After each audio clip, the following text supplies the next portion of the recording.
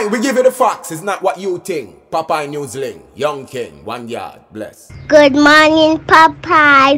Grandma watch Popeyes every morning and every night. What am I think? What am I think? You're listening to Popeye News Links. This is the Admiral Tibet who I represent and remember, the time is so serious, cantankerous and dangerous.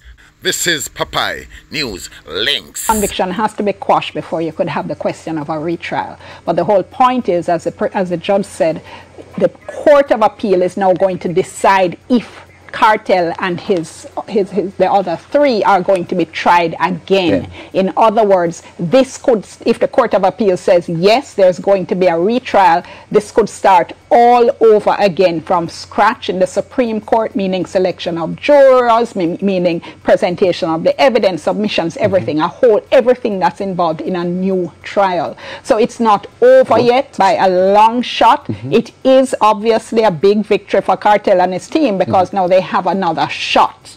But we have to wait for the Court of Appeal to see what it is they're going to decide if they're going to say this needs to go to a retrial or not. If there's no retrial, then they would go free. But if there is a retrial, then the question is going to be are they going to get, get out bail. on bail yeah. Mm-hmm. or are they going to be held pending the retrial? So there are a lot of issues yet to be decided. Greetings, greetings, viewers and subscribers. Now, if you were watching the live stream of the Vybz Kartel and others' judgment earlier today, you would have heard me say something at the end when the judgment was handed down. I had said that Kartel and the others they were free. Please accept my humble apology. I know that a lot of you depend on this channel for credible information and there was no intent to mislead you. When I heard the judge said that the conviction was quashed, I drew a conclusion, but I should have waited before I say anything. We are never too old to learn, and I unreservedly apologize. Once again, my humblest apologies. In this next story, listen to this carefully. I'm not gonna call the name of the teenagers involved, but they are both high school students living in the parish of Westmoreland. Well, the 13 year old female, she has been charged for grievous sexual assault and sexual intercourse with a person under 16 years old. You heard that? A 13 year old female, she has been charged for grievous sexual assault and sexual intercourse with a person under the age of 16 years old. The male is 14 years old and he has also been charged with the same offenses. Did you know that a female could be charged for those offenses? You didn't? Well, now you know. It is said that last month, both the 14 year old male and the 13 year old female they met up on a few occasions and do the things everything bust out and the police they got involved. As a result, both the 14 year old boy and the 13 year old female they were charged by the police and they are going to be going to the juvenile court shortly. In this next incident, the Hanover police they have arrested and charged a guy. His name is Cordell James, but he's popularly known as Butty. Butty, eh, he's 33 years old and he's living in the Cove Road area of Hopewell in the parish of Hanover.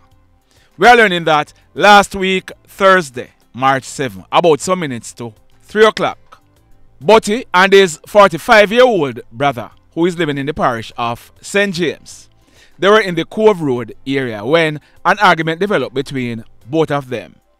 It is alleged that Butty eh, he pulled a gun from a one strap bag that he had across his chest and pointed it at his brother, threatening to kill him. The brother he ran out of the yard and subsequently made a report to the police. Earlier this week, the Hanover police they carried out a raid at Butty's home where he was held. He has since been charged for assault at common law and possession of a prohibited weapon and he'll be going to the courts shortly. In this next story, That lady on your screen, her name is Marie Deans, but she was popularly known as Bumper. Bumper was born on November 26, 1976, 47 years old, and she lived at Cousins Cove in the parish of Hanover. We are learning that Bumper, she was diabetic and hypertensive, and she was taking medication for her illness. Bumper, she was last seen by a close family member on Saturday morning, March 9, about 8 o'clock or thereabouts. On Sunday, the same family member tried communicating with Bumper, but he got no response. On Tuesday night, March 12, about 9 o'clock, the family member went to the home and realized that the kitchen window for the house was opened. The lights in the house were on and the kitchen pipe was running. The family member called out to Bumper but got no response.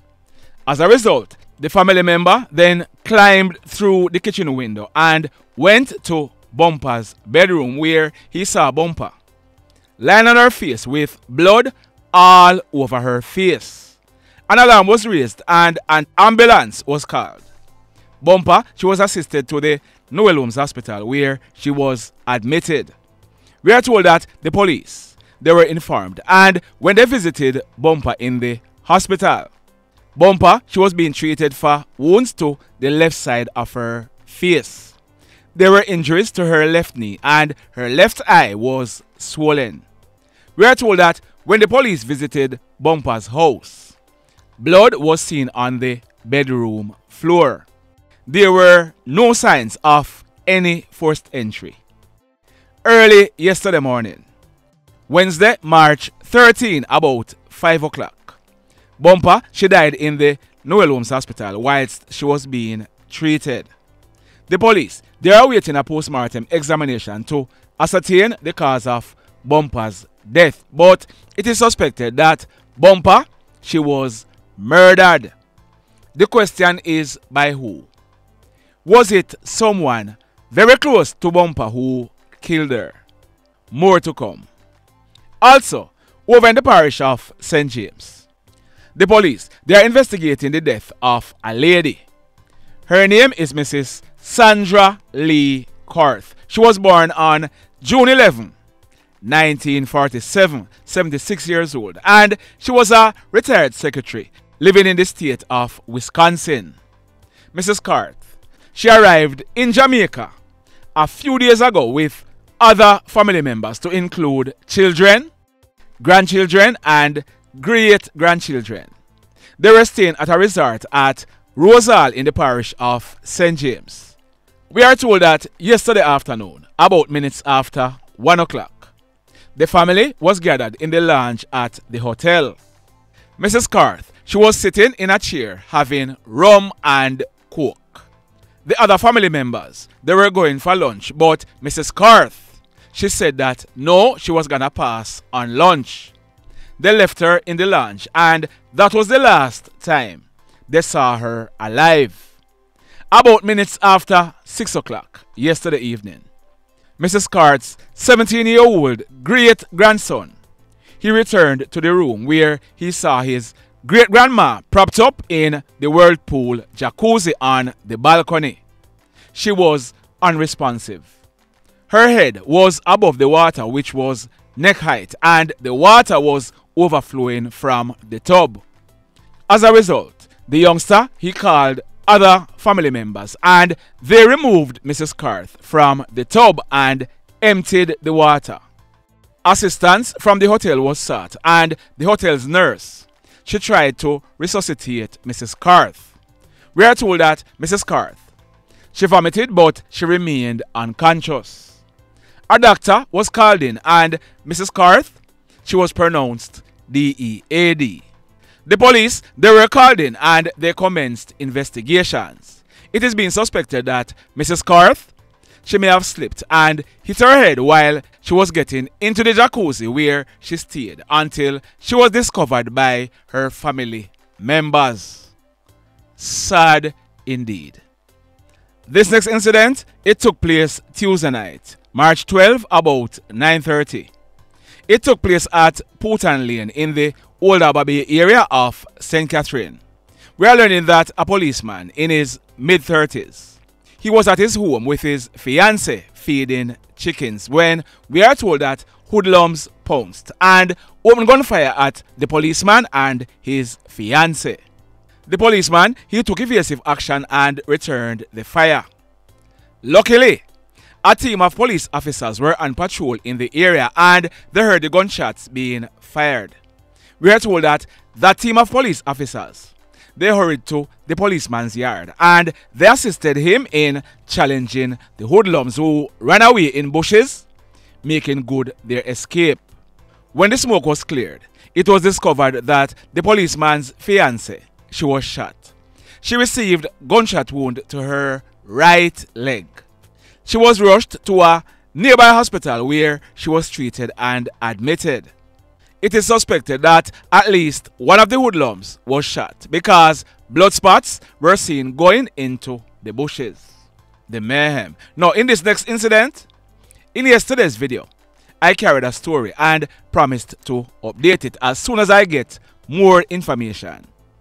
About 7:30 yesterday morning, Wednesday, March 13. Residents they stumbled upon the body of two men. They were found along a dirt track near to the Water Commission pumping station along the Dunbeholden Main Road in the parish of St. Catherine. We are told that the men's hands and feet were bound. Their necks were partially taken off and they received gunshot wounds to their heads. They also had stab wounds. One of these two men has since been identified. His name is Anthony Chambers. He was a 28 year old maintenance man. He was contracted to Digicel and he lived at Jones Avenue in the Spanish Town area of St. Catherine. At the time Anthony was found, he was dressed in a blue jeans pants, a multicolored shorts, and a grey looking underpants. He was not wearing any shirt and he was barefooted. The other man is of a dark complexion, about 5 feet 8 inches tall, with a low cut hairstyle. He was dressed in a black jeans pants, orange shorts, red underpants, and a pair of black Reebok sneakers. He too was shirtless. We are told the hoodlums they used the men's shirt and tied them up. It is suspected that the two men they were killed elsewhere and dumped near to the pumping station. The mayhem. Now, in this next story, this one took place last night, Wednesday, March 13, about some minutes to 10 o'clock.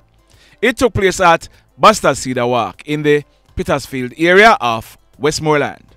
We are learning that a man, his name is Robert Henry, but he was popularly known as Chubby. Chubby was 57 years old and he was a cane cutter. We are told that Chubby, he is originally from the parish of St. Mary, but for many years, maybe over 20 years, he has been living in the parish of Westmoreland. Chubby was living at Middle Street in the same Bastard Cedar Walk area. What we are told is that Chubby, he was very hardworking, but him love him liquor. And it is also said that whenever Chubby was drunk, he was very disrespectful. So persons are wondering if that is the reason why Chubby was targeted. We are told that last night, residents of the Bastard Cedar Walk community, they heard gunshots being fired in the area.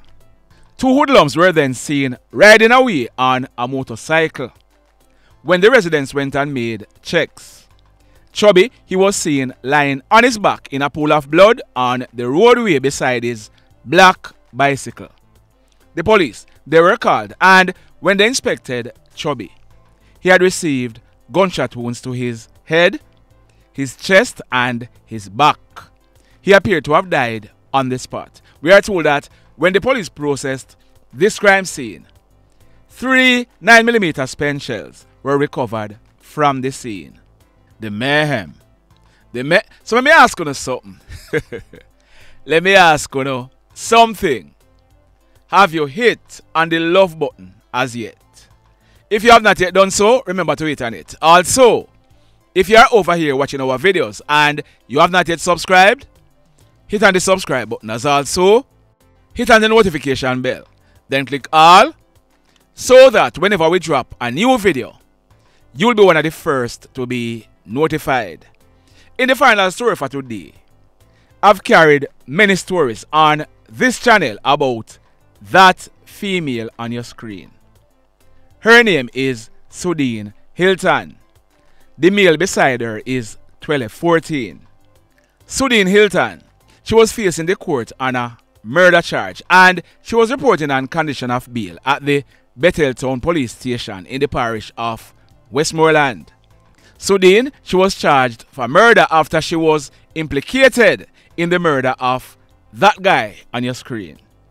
His name is Richard Baker, but he was popularly known as Jimmy. It is said that Sudeen, she was the getaway driver when hoodlums killed Jimmy. It is also said that Sudeen, she was the one who set up Jimmy.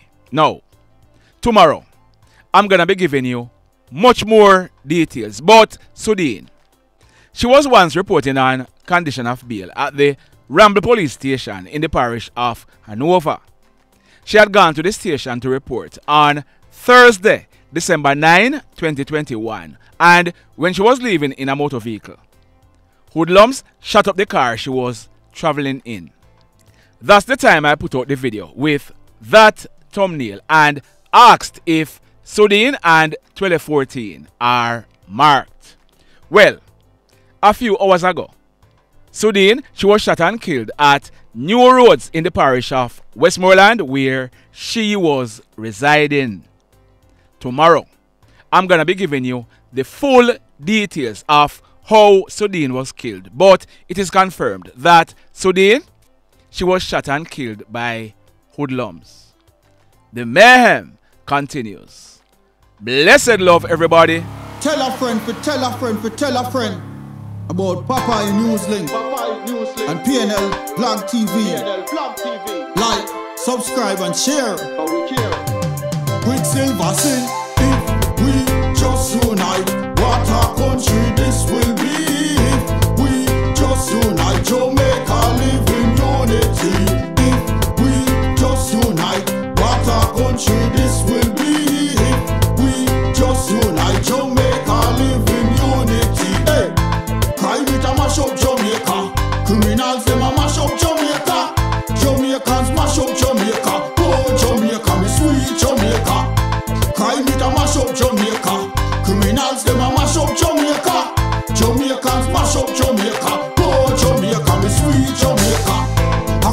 sunshine or rain. Jamaica, no problem, no pain. Rude boy them block out can't tame, but me want me country back. Give me me country back to the street and the lane. Everybody them start complain. Bloodshed, what a shame, what a shame. But me want me country back, give me me country back. Crime it a mash up Jamaica. Criminals